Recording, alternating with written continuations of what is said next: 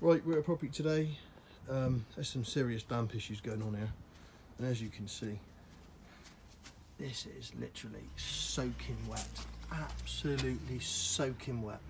Now, there's been a minimum of three damp experts, shall I say, or cavity wall and damp experts, damp proofers there, because looked at this property, you can see all the holes where it's been injected previously. Um, you can also see there's two types of insulation you've got blown fibre and you've got some foam. And these cavities are rammed they've never been inspected for bridging or a damp proof course or any sort of crap in there. So you can see the basics the basics have never been carried out. This is why these walls are soaking wet.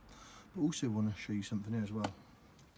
So I would always say it is reasonable for a drain to block up. It is reasonable for a gutter to block up the consequences of some of this insulation, um, like this blown fibre stuff here, once it gets wet, it is literally knackered. Now this stuff, you can see it's dripping water down there, look, it's dripping water. Just a waste of time, absolute waste of time. So you could imagine now, our client is very upset because of had works done previously and it's not been diagnosed correctly and it's been an ongoing issue.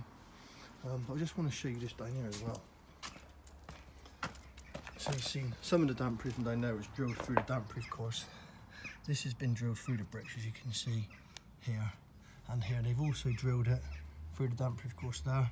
You can see it through the bricks there. But if you look here, you can actually see when they drilled the inner skin, they've actually drilled all the way through. Um, you can also see it on that one there and actually drilled and pumped anything actually into the cavity. Absolute complete waste of time, but you see down there, it, these are soaking these bricks, look. They are literally soaking wet. But by removing all of this crap in the cavity and keeping things very simple, this can all be dealt with in a reasonable manner, but it does cost a lot of money. You can see down there as well, look. It is absolutely soaking wet. So if you're buying a house and it's got cavity wall insulation, you need to check that guarantee is valid. You also need to check um, there's no defects like guttering leaks, drainage leaks, you, because they won't be coming out to repair it. The guarantee is going to be basically void. Um, and you got to remember, as I said earlier on, it is reasonable for you to get a gutter leak or drain blockage now and then, but the consequence of failure, probably in some cases, if you've got this old insulation, is going to cost you thousands to fix. Thanks for watching.